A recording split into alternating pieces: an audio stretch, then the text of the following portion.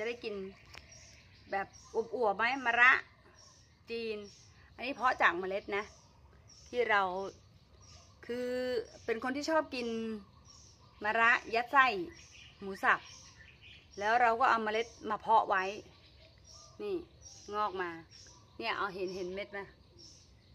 เม็ดแบบนี้แหละ แล้วก็มาเพาะไว้ มาเลยโรยหวานๆไว้อะอันไหนที่เขาแข็งแรงเขาก็จะงอกมาเอง นะเดี๋ยวก่อนลองจิ้มเข้าไปก่อน รากลอย อย่าให้รากลอยกดลงไป นี่ นี่ เดี๋ยวเราก็จะได้ไม่รู้จะได้กินหรือเปล่านะคราวคราวที่แล้วได้กินเยอะเลย อันนี้เป็นเอ่ออะไรนะ ดูสิลืมทงเทงทงเทงเออทงเทง ต้นทงเทง คือเวลามีนกมากิน กิน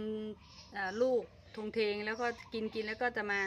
ขี้ใส่ตรงนู้นตรงนี้ตรงนี้นั้น ก็จะเกิดขึ้นมา อันนี้รู้สึกจะเป็นแมงลักที่เราโรยเมล็ดพันธุ์ไว้นะ อันนี้ไม่ใช่ อันนี้ตำแยเอาออก คิดว่าน่าน่าจะได้กิน แต่จะหาที่ให้เลื้อยยังไงเนี่ย เดี๋ยวก่อน ดูก่อน คาดว่าหมองนี้ จะไปเกาะตรงไหนเนี่ย เกาะตรงนี้ เกาะเชือกตรงนี้เหรอ อันนี้ของน้องบีไง อันนี้ของเอ่อโซรถน้องบี จะต้องแบ่งกันเนี่ย เดี๋ยวเดี๋ยวต้องแบ่งโซนเนี่ย ใครสนใจกระท่อมไปที่ช่องแม่บีปลูกผักกันนะจ๊ะทุกๆคน เนี่ยเดี๋ยวเราจะต้องหาที่ให้เขาเลื้อยเขามือมือมือ เริ่มมีมือจับแล้วเห็นไหม เดี๋ยวเราจะต้องหา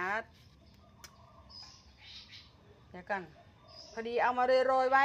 ก็ไม่คิดว่ามันจะงอกอย่างนี้ไงที่จะย้ายก็ไม่ย้ายดีกว่า เดี๋ยวจะทำค้างให้เขา เอาเชือกมามัดตรงนี้ แล้วก็เอาไปโยงกับตรงนู้นก็ได้นะ เออ คิดไปเรื่อยๆก่อน หาเดี๋ยวจะหาที่เกาะให้ นะจ๊ะ โรยไปเยอะอยู่ขึ้นมาประมาณนี้แหละ ต้นนี้ดูแข็งแรง เนี่ยต้นนี้ดูแข็งแรง สองต้นนี้ก็ดูแข็งแรง อันนี้ก็ดูแข็งแรง